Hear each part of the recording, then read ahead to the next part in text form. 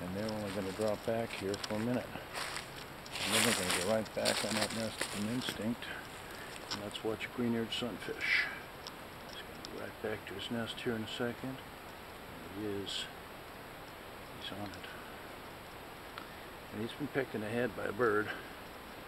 And there are other smaller sunfish on these nests. And just deeper in the water away from them. Pretty cool. Not supposed to be here. All of these are nests along the whole entire margin. And there are three inch fish and one inch fish. And this whole shoal is full of nests.